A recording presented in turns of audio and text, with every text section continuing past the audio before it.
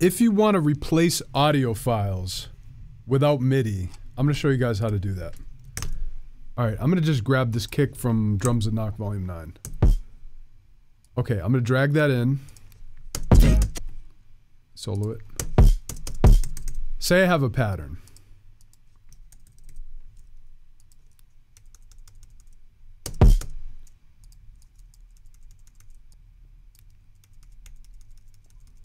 Okay, I got this kick pattern.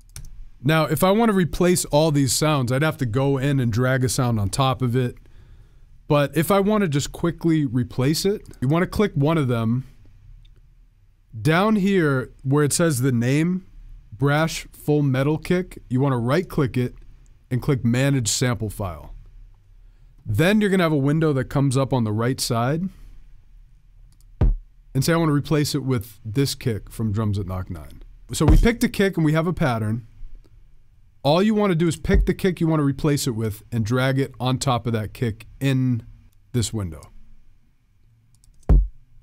And then it changed all the kicks. So that's how you do that.